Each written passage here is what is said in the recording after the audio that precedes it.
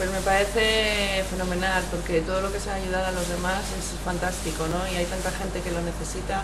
Estamos viviendo en, un momento horrible para muchísimas familias que no llegan a final de mes y, ya no solamente a, nivel de migrantes, sino también gente propia nuestra, no españoles. Entonces, pues todo lo que se pueda hacer por ayudar a los demás eh, está, es, es perfecto, ¿no? ¿Repetimos o...? No. No España es uno de los países desarrollados donde más pobreza infantil hay. Desde tu punto de vista como madre, ¿qué crees que pueden aportar estas iniciativas para luchar contra la pobreza infantil?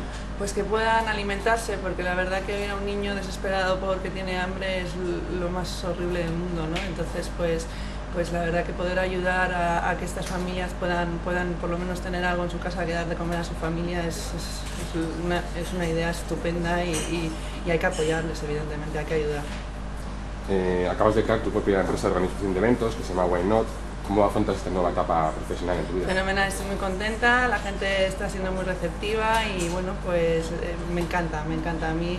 Eh, el, hacer, el hacer cosas, el trabajar es lo que más me gusta y, bueno, y siempre dentro del mundo de la moda que siempre me ha encantado y, bueno, pues, pues acabamos de inaugurar hace nada y bueno, pues espero que me vaya todo muy bien, la verdad y este nuevo eh, proyecto significa que te veremos menos en las pasarelas o intentarás compaginar? Hombre, cada vez menos, ¿no? Pero bueno, de todas formas yo sigo haciendo mis cosas, eh, sigo haciendo mis campañas y tal, pero, pero, pero ya me, estoy ahora empezando a, meter a nuevas, nuevas caras en el mundo de la moda. Y hace poco pudimos ver a tu hija en, desfilando en una ganancia también aquí en Madrid. Sí. ¿Te gustaría que ella siguiera tus pasos profesionales? Yo quiero, lo que quiero es que ella estudie y luego que ella sea lo que ella quiera ser, ¿no? porque ella, al final va a, ser la última que tenga la palabra a decidir lo que quiere y lo que no, ¿no? pero evidentemente siempre que, estudie. Y bueno, tienes una niña, tienes un niño, ¿seguís pensando en ampliar la familia o es Pues lo mismo sí, dentro de cuatro años así, otro hijo. Nos apetecería tres, siempre lo he dicho. Es un bonito número para mí. Muy bien, pues muchas gracias. Gracias. Y bueno, ahí en Valladolid estoy encantada y lo que pasa es que está súper cerca de Madrid. Sí, ya con el AVE Y con el AVE es una horita y no tarda nada en llegar aquí. Y, bueno, un salgodis de nueve meses, madre mía. Tiene un porcentil, además, es que está, ¿sabes? Largo, largo. No tiene que salir. No, no, no, sí, ha salido con los genes de los Wick. Sí, totalmente. Le va, le va, a decir el día de mañana a su padre, no me quieres que tenga salud y que sea buen tío. Y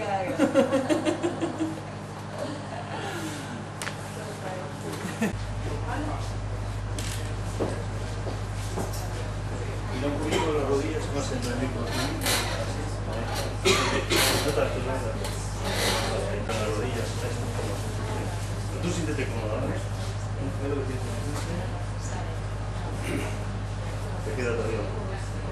Vale, correcto. Venga. Está con la labor de aquí, ¿eh? Venga, eso es.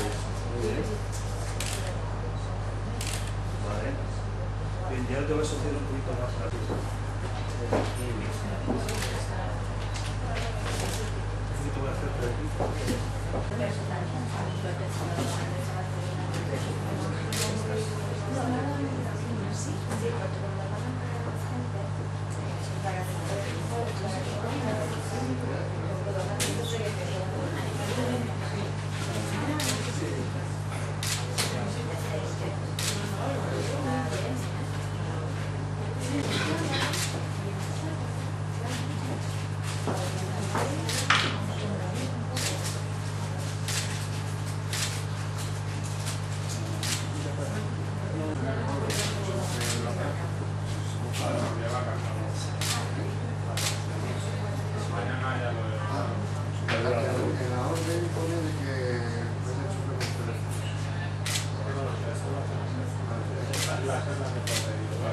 Vendrán mañana.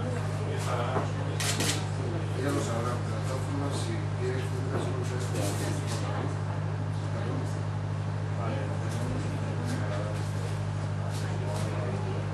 Que se vienen aquí, por favor, todos, aquí, por favor, un segundito. Gracias. Un poquito por aquí, por favor.